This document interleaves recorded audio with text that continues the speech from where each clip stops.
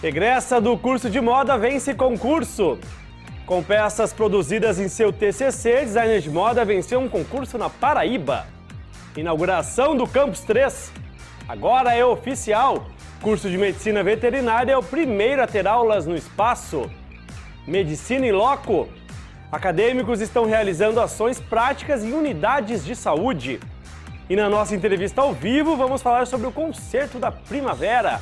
Hoje, dia 18 de setembro, terça-feira, Boletim Informativo está no ar. Oi, gente, boa tarde. Uma egressa do curso de moda aqui da Universidade Fevale venceu recentemente um concurso na Paraíba. As peças que foram apresentadas tinham sido desenvolvidas para o seu trabalho de conclusão de curso.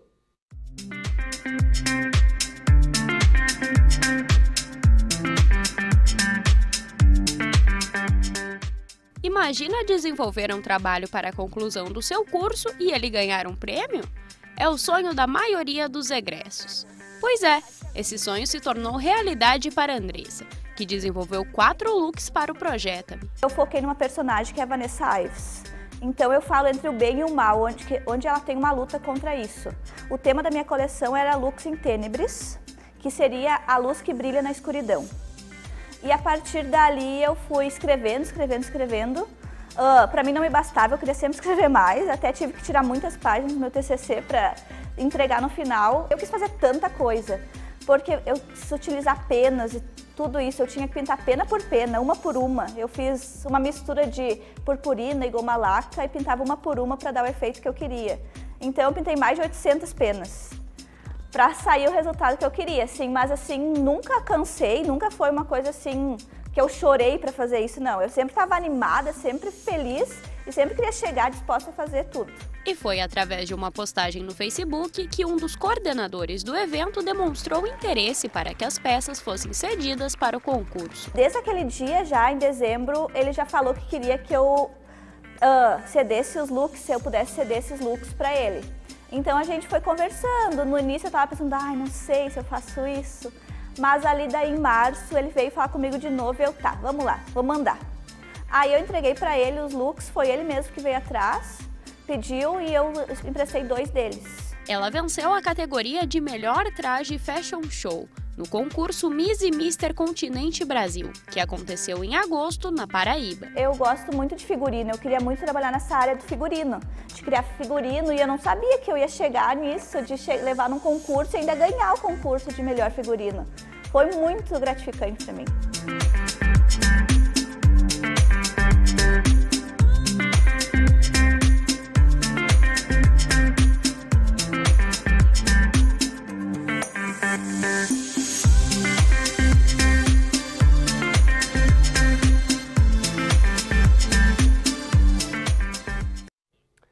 Pró-Reitoria de Ensino iniciou ontem uma série de ações para intensificar e fomentar o uso de tecnologias digitais na sala de aula. Cursos na área de tecnologia e educação estão sendo ofertados para professores no mini auditório da biblioteca. São cursos tipo mão na massa, na qual os próprios professores usam o seu próprio dispositivo para aprender novas ferramentas. No primeiro encontro, a oficina apresentou o aplicativo Video Show. Esse app permite a criação de vídeos de forma fácil e rápida. E dia 27 ocorre mais uma edição, também no mini auditório da biblioteca, onde o app Stellar vai ser apresentado. Dia 2 de novembro, o Teatro Fevale recebe mais uma vez Luan Santana. Reserva essa data. Dia 2 de novembro, o Teatro Fevale recebe o cantor Luan Santana, com sua turnê X.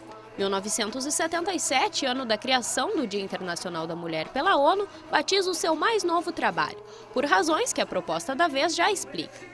Lua divide a voz com grandes ícones femininos da música brasileira, um tributo ao sexo nada frágil.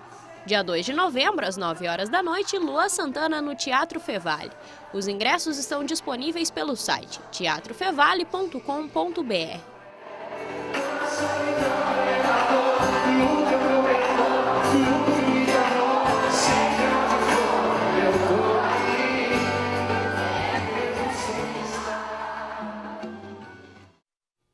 A Universidade Fevale realiza amanhã, quarta-feira, a roda de conversa Tá na Hora. Vamos falar sobre suicídio.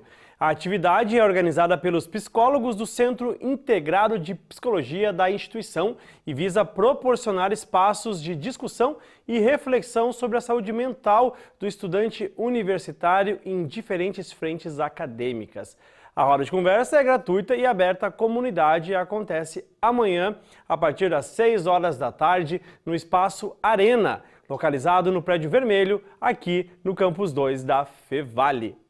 Agora é oficial. Ontem à tarde foi inaugurado de forma oficial o campus 3 da Universidade Fevale. Acompanhe agora como foi esse evento.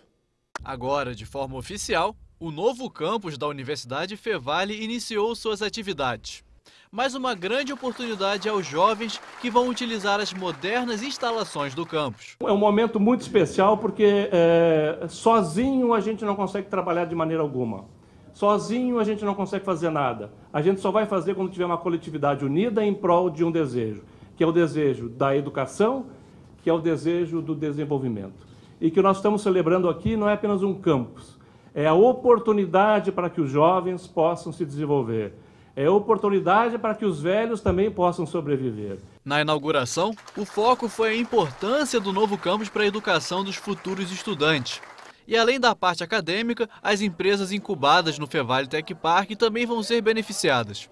Com todas as instalações nessa área de Campo Bom, o campus também vai impulsionar o desenvolvimento da região. A educação é o princípio de tudo. E essa inauguração é uma prova de que todos nós acreditamos nisso. E só com educação de qualidade estaremos entregando para o mercado de trabalho pessoas e profissionais capazes de mudarem os rumos e o futuro de nosso país. Estendo agora meus cumprimentos à própria instituição, que é sim ela o objeto de todo este projeto, que veio se constituir num instrumento de desenvolvimento absolutamente importante para todo este segmento, com a decadência econômica de certa alternativa industrial, busca um caminho sustentável de substituição do, do industrial tradicional pelo industrial movido pelo conhecimento. Então, isso para nós é motivo de muita alegria e muita satisfação. Acredito que a gente sempre pode é, trabalhar juntos, em parceria, que eu acho que é um modelo hoje que mais funciona, né? a gente ter companhias que possam fazer com que os nossos projetos se tornem mais fáceis e mais viáveis. Junto ao Campus 3, em breve será erguido o Hospital Escola Veterinário, com previsão de 5 mil metros quadrados de área construída. O hospital segue as normas do Conselho Profissional de Medicina Veterinária e Vigilância Sanitária do Rio Grande do Sul, sendo mais um local de estudos práticos para os acadêmicos do primeiro curso do Campus 3. É um marco para nós receber a, a, inauguração e daqui a um tempo essa inauguração frutificará com certeza depois no Hospital Veterinário. Né? Então é muito bom estar recebendo todos aqui. Para quem tem qualquer ligação com a instituição, a ansiedade é visível. Todos querem ver esse novo campus cheio de estudantes e funcionando a todo vapor. E por favor, vamos continuar junto, porque isso aqui é um pequeno passo e a gente tem que avançar muito mais. Obrigado.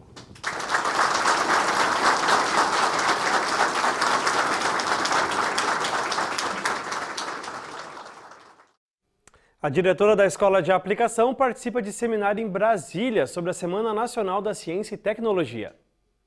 Lovane Vomer participa nessa quarta e quinta-feira do 15º Seminário dos Coordenadores da Semana Nacional de Ciência e Tecnologia. A atividade reúne coordenadores de todo o país no Instituto Federal Brasília. O evento permitirá a troca de experiências e a interação entre os professores, além de contar com a presença dos escolhidos por meio da chamada do CNPq de apoio à Semana Nacional de Ciência e Tecnologia no qual o projeto Feira de Iniciação à Pesquisa da Escola de Aplicação foi contemplado. Acadêmicos do curso de Medicina da Fevale estão realizando diversas ações práticas em unidades de saúde, incluindo visitações a pessoas enfermas. A nossa equipe foi ver de perto como está todo esse processo. Os acadêmicos do segundo semestre do curso de Medicina da Fevale, que estão fazendo a disciplina de Cenários de Aprendizagem 2, se concentram em unidades de saúde da família como essa, aqui no bairro Kefes, em Novo Hamburgo, e daqui se dividem em grupos e vão visitar famílias que estejam precisando de atendimento. Uma ajuda muito boa profissionalmente falando para esses acadêmicos, futuros médicos, mas principalmente para toda a sociedade de Novo Hamburgo. Seja anotando todas as informações possíveis ou lidando diretamente com o paciente. Nessa atividade prática, o acadêmico do curso mais parece um médico graduado. Eles acompanham diversas consultas e vão até a casa de uma pessoa debilitada. Na visita, é preciso fazer um diagnóstico de diferentes microáreas. O estudante acompanha um agente comunitário, coleta informações, conhece a realidade de cada local e conversa com o paciente olho no olho. Afinal, a medicina está cada vez mais focada no cuidado com as pessoas. Antigamente não tinha essa preocupação assim. Era o paciente procurava o médico né, com um respectivo problema ali, uma necessidade. a gente quer, quer ter uma, uma, uma, ideia diferente de saúde, ir de encontro para saber o que, que eles precisam e tentar trabalhar as necessidades para fazer saúde de verdade. Né? Na divisão de tarefas, o Gabriel foi escolhido para acompanhar a Geórgia, médica na unidade de saúde do Kefas. E dá para perceber que ele não tira o olho do papel e anota tudo, tirando dúvidas, mesmo estando tão no início do curso. Essa iniciativa é muito boa porque realmente surge muita dúvida no decorrer da, da faculdade. Então, eles conseguem se localizar, pelo menos assim, no início, eles conseguem ver qual é a queixa do paciente, conseguem pelo menos saber as dificuldades, as limitações, né? Mas todos os outros apresentaram bastante interesse, assim, eles perguntam sobre o diagnóstico, eles têm dúvida, eles anotam, voltam no outro dia querendo discutir o caso, então assim, realmente eu acho que vale bastante a pena, mesmo eles estando no primeiro ano. E apesar da gente não ter tido as cadeiras ainda necessárias para a gente conseguir entender tudo o que ocorre aqui, a gente já consegue ter uma baita ideia né? E sempre que a gente, a gente viu uma coisa aqui, depois aprende na faculdade, da gente sempre lembra, ah, aquilo que eu vi naquele dia lá na USF ou na UPA. Né? Isso dá uma ajuda para o futuro e com certeza vai me ajudar muito. Já o Rafael, dessa vez, ficou com a visita. Ele acompanha a agente de saúde Monize e vai até a casa dos pacientes. Hoje visitaram a dona Emília, de 105 anos.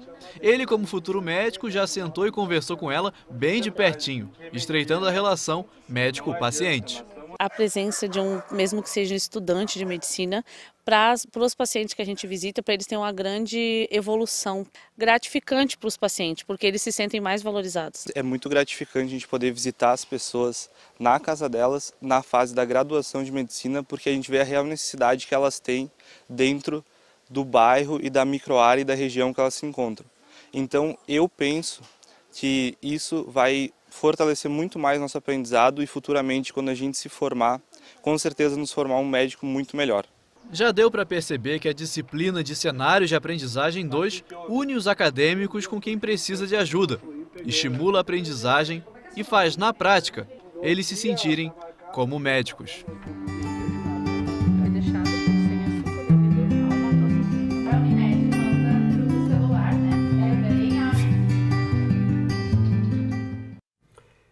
Hoje nós vamos falar ao vivo sobre o concerto da primavera, a quarta edição do evento. Será no dia 29 de setembro, aqui no Teatro Fevale. E quem conversa conosco ao vivo sobre o assunto, sobre o concerto, é a coordenadora do movimento coral, a professora Denise Blanco Santana. Boa tarde, professora. Boa tarde. Obrigado mais uma vez pela presença. Eu né? que agradeço essa oportunidade de divulgar o concerto. Temos aí mais um concerto acontecendo agora no dia 29 e esse ele vai ter uma uma pitada de comemoração, né? Sim. Somos 20 anos do movimento, né? Então, é uma festa. Exato. A ideia é que seja uma grande festa, né? E nós estamos preparando com muito carinho para esperar a comunidade. Uh, são 20 anos, a comemoração é relativa aos 20 anos do Coro Canto e Vida, da terceira idade, né, que iniciou em 98, Sim. e 10 anos do Movimento Coral Fevale, como projeto de extensão, né, que iniciou em 2008, aqui na universidade.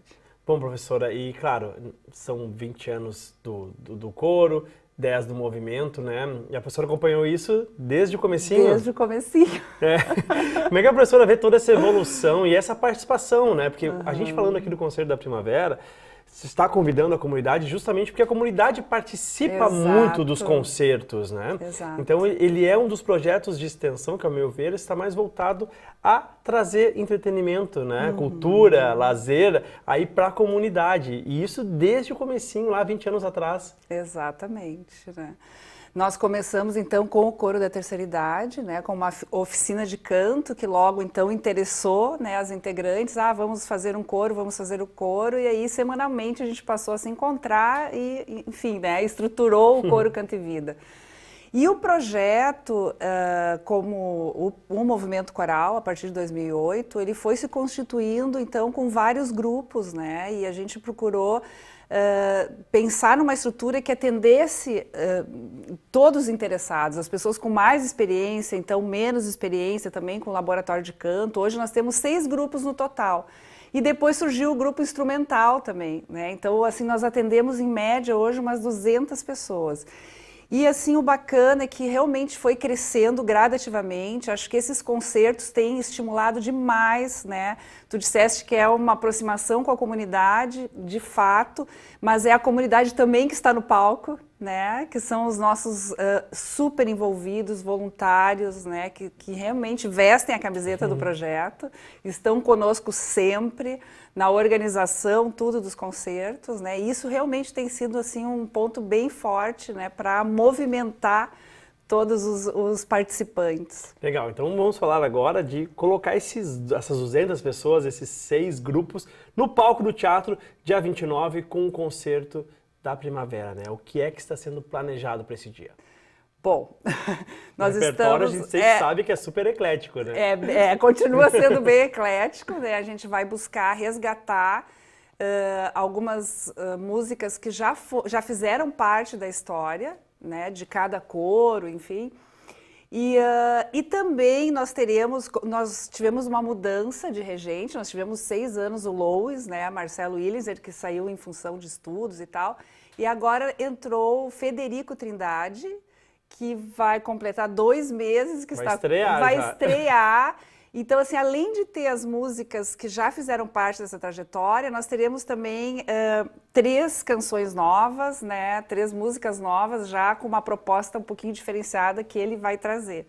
Né? E também teremos convidados que já fizeram parte também, né? Nos acompanharam nesse tempo. Uh, tanto cantores, solistas, né, instrumentistas. Legal, então dia 29 de setembro, a partir das 8 horas da noite. Quando é que os ingressos vão estar disponíveis? Porque esse é sempre o momento mais tenso para todo mundo. É verdade. Falta ingresso todo o concerto. Bom, a partir do dia 24, segunda-feira, né? Segunda-feira. Segunda-feira. Uh, na bilheteria do teatro e no, no shopping, no Bourbon Shopping.